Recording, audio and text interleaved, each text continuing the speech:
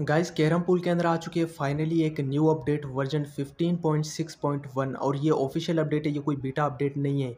मैंने यहाँ पर इसको अपडेट कर लिया है और इस अपडेट को मैंने पूरा एक्सप्लोर किया है और अभी मैं आप लोगों को अपना रिव्यू दूँगा। जैसा कि आप लोग जानते हैं, कैरम पूल के अंदर अभी के टाइम पर तीन सबसे बड़ी प्रॉब्लम जो इश्यूज़ चल रहे हैं। सबसे पहला ये है कि भाई जो नया वाला मेन मेन्यू है, वो सबको शो नहीं हो रहा। किसी किसी की आईडी में शो हो रहा है और किसी की आईडी में शो नहीं हो रहा। दूसरा सबसे बड़ा इशू हमारे पास चल रहा है ऑटो प्ले का। क्या इस न्यू अपडेट के अंदर मिनी क्लिप ने ऑटो प्ले के अगेंस्ट में कोई स्टेप लिया है? क्योंकि सुनने में ऐसा आ रहा था कि भाई ऑटो प्ले वर्क नहीं कर रहा है इस न्यू वर्जन के अंदर। और तीसरी सबसे बड़ी प्रॉब्लम आप सब लोग जानते हैं भाई, जो वीकली विनिंग्स है, हम में से ज़्यादातर लोगों की वो काउंट नहीं हो रही। तो एक एक करके गाइज़ इन तीनों के बारे में मैं आप लोगों को प्रूफ दिखाऊँगा कि भाई क्या इनके ऊपर काम किया गया इस न्यू अपडेट के अंदर या नहीं किया गया। सबसे पहली चीज़ थी गाइज़ मेन मेन्यू जो मेन मेन्यू है, वो सबके पास नया वाला शो नहीं हो रहा और इस अपडेट को अपग्रेड करने के बाद भी गाइज़ शो नहीं हो रहा। यानी कि जो मेन मेन्यू था भाई, वो तो पहला पॉइंट तो हमारा वेस्ट हो गया। मिनी क्लिप ने इसके ऊपर कोई काम नहीं किया।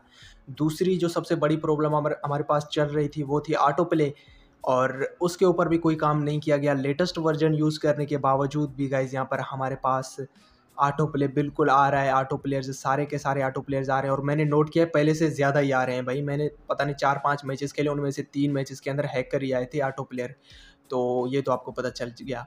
अब गाइज़ जो तीसरी सबसे बड़ी प्रॉब्लम थी इस टाइम पर, जो सब लोगों को जिसने परेशान कर रखा है, वो है गाइज़ वीकली विनिंग का फ्रीज हो जाना। यानी कि वीकली विनिंग बहुत सारे लोगों की काउंट नहीं हो रही।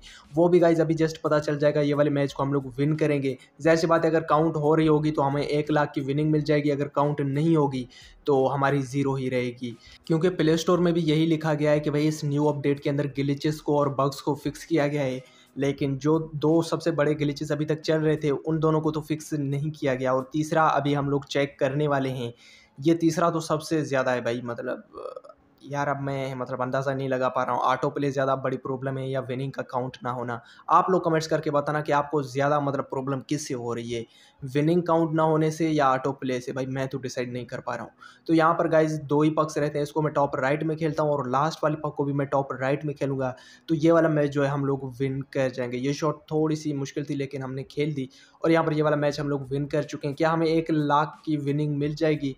मुझे लग तो नहीं रहा, वरना हमें अभी पता चल जाता। मुझे लग रहा है कि नहीं मिली हमें विनिंग और गाइस बिल्कुल ऐसा है यहाँ पर आप देख सकते हैं, अभी भी ज़ीरो विनिंग ही शो कर रहा है। हालाँकि हमने एक लाख वाला मैच जीता है। तो अभी के टाइम पर कैरम पुल के अंदर जो तीन सबसे बड़े गिलिच आप इसको बोल रहे हैं बग्स बोल रहे हैं, या कुछ भी आप इसको बोल सकते हैं, भाई न्यू अपडेट देने का क्या फ़ायदा जब इनमें से एक को भी आपने फिक्स नहीं किया? भाई गाइज़ ये वीडियो बनाने का मकसद था कि भाई मिनी क्लिप को बता सकें कि भाई ये ये चीज़ें आपकी गेम में हो रही हैं और आप लोग को भी मैं बता सकूँ। बाकी आज की इस वीडियो में इतना ही। हम लोग मिलते हैं नेक्स्ट वीडियो में। तब तक के लिए इजाज़त दीजिए, दुआओं में याद रखिए। थैंक्स फॉर वॉचिंग अल्लाह हाफिज़।